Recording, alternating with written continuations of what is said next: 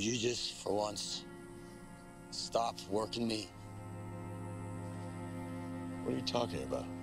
Can you just uh, stop working me for like 10 seconds straight? Uh, stop jerking me around.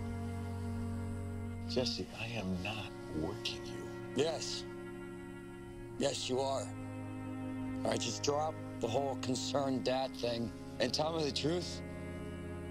I mean, you're you're acting like me leaving town is is all about me and turning over a new leaf, but it's really it's really about you.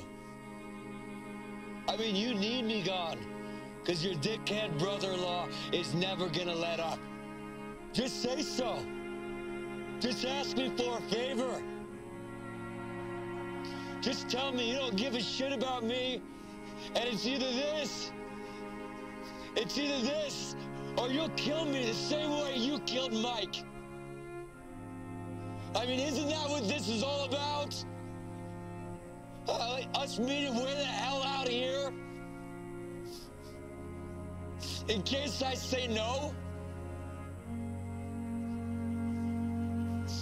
Come on. Just tell me you need this.